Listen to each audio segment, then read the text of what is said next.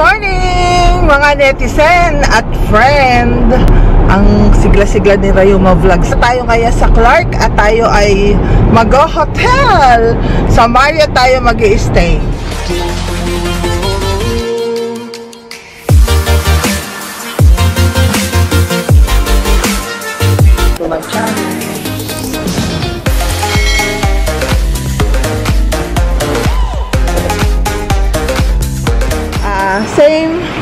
procedures as other hotel. We have an X-ray here para sa safety ng mga guests.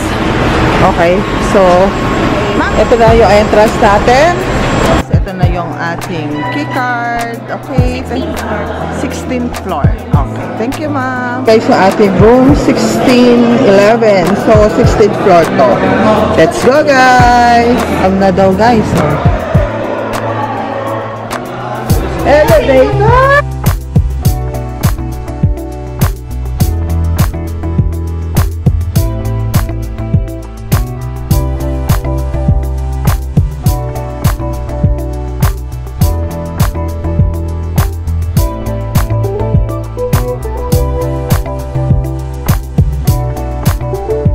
Malapit lang kami, ano?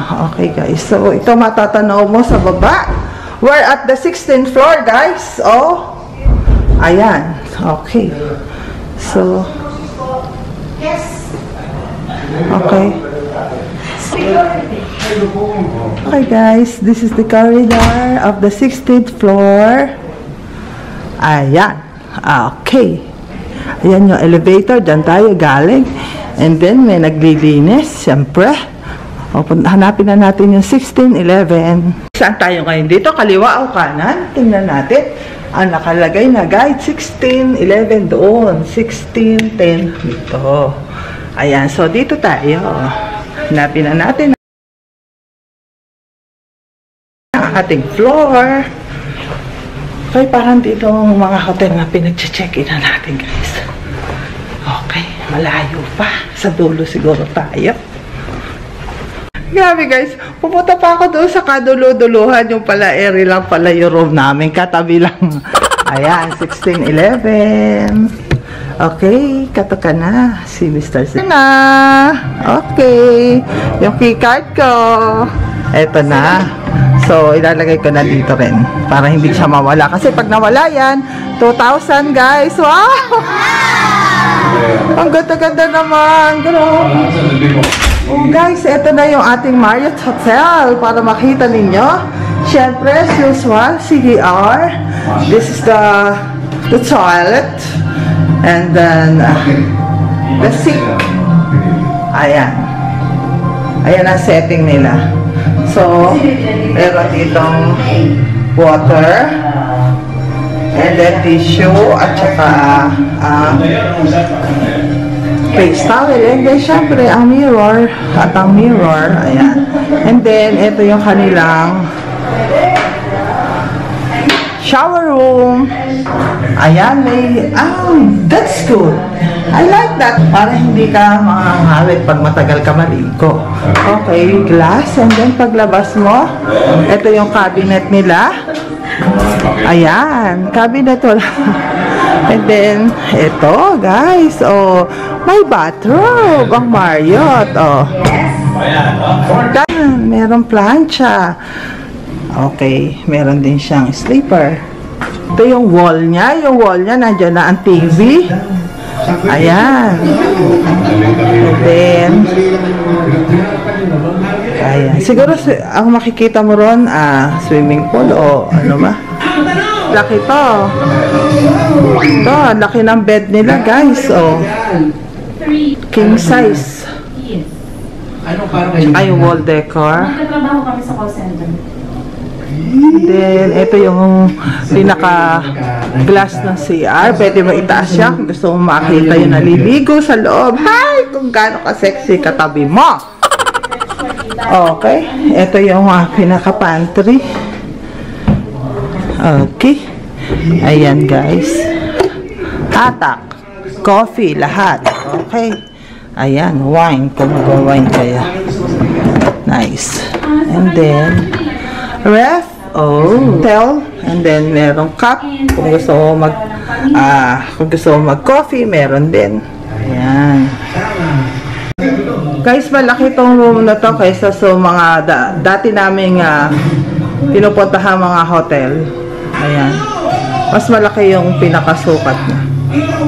Dati pwede ba ganito room natin? Ayan, pagpasok mo CR, tapos medyo nakakover yung, ah, yung bed. And then meron sofa bed dito na malaki na pwede ring ah, humiga ang isa pang tao. Ang ganda guys, oh. Sumasagot si Mr. Sinang kung pwede maging ganito yung kwarto namin. Pwede ba, Daddy? Maliit yung bato natin. Maliit daw po yung kwarto namin, hindi pwede. Ayan.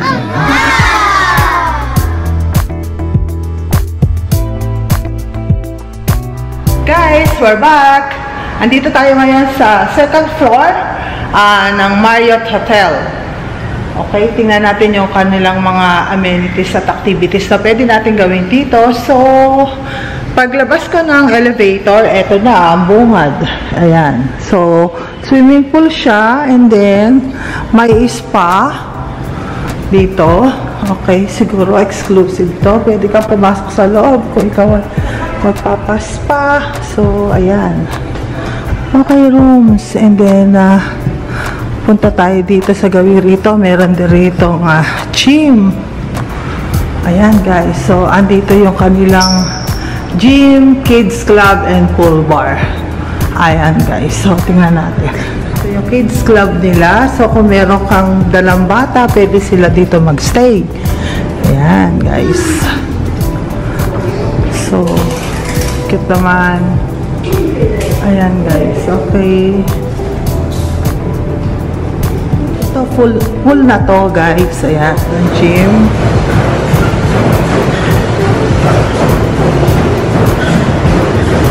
Kung gusto mo mag-weights, pwede ka dito. Ayan, pang cardio. Okay, guys.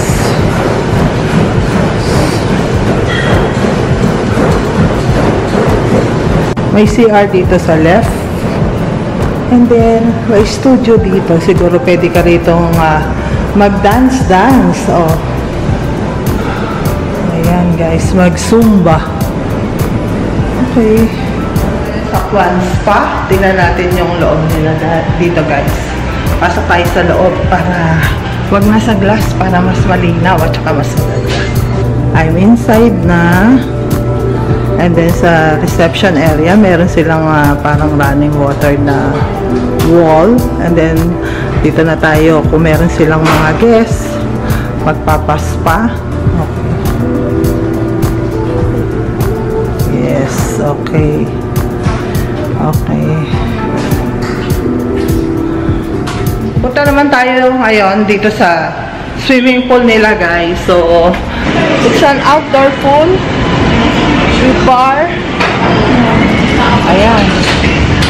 Guys, ito yung kanilang talaga nakatuto ka sa araw. So, kailangan may sunblock ka. So, ito yung pinaka-pool nila. So, sa side, may, ah, may CR and then may shower. And then, ah, meron dito mga pwede ka magpa-sexy rito. Chair. Pwede ka humilata dyan. Okay guys, ito yung ah, pinaka-pool nila. Medyo maliit nga lang. Pero 4 feet daw to. 4 feet.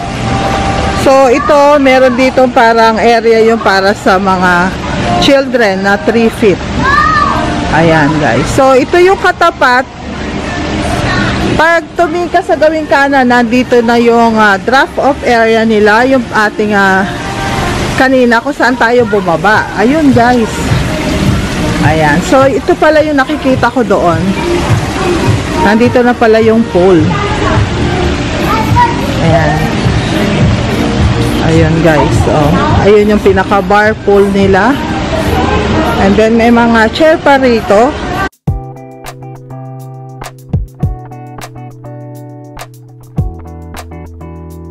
Hi guys, dito pwede ka humiga o kahit na ilang tao kayo. Yes, dito ang ganda ng pinaka ano niya. Pwede ka mag-relax. And then doon pa, pwede pa rin gamitin yung area na yon. And then, pag tinignan mo siya, from here, makikita mo na yung pinaka-building. Ito yung nakikita ko sa labas na nakalagay is Mayo. Okay, ayan na.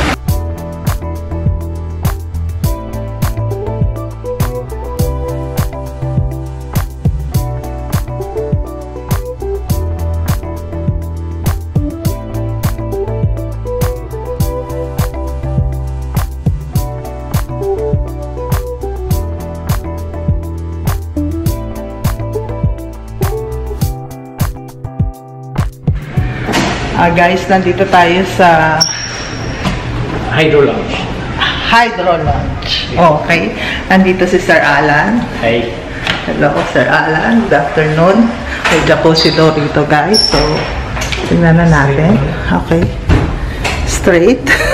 Galing tayo, guys, sa pool. And then, merong isang room dito na ganito para ding yung mga floor. Yung, okay, hydro. For and Okay.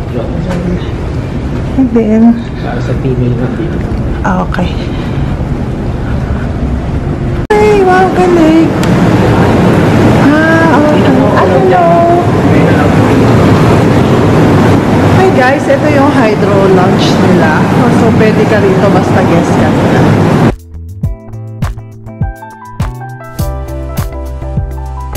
Okay, ah.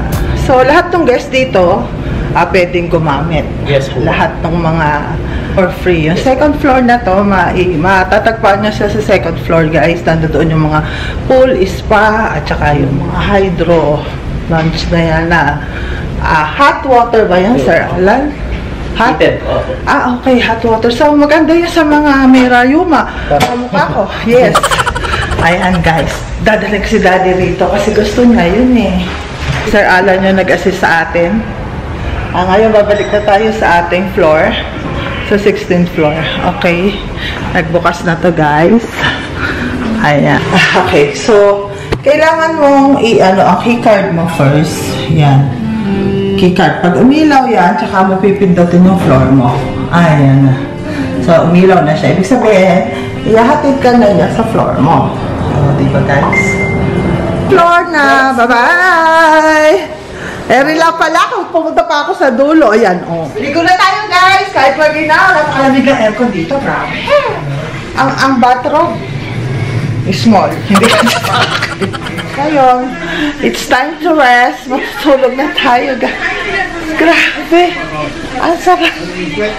Ay, sarap naman. Diyos ko, guys. Sarap naman dito.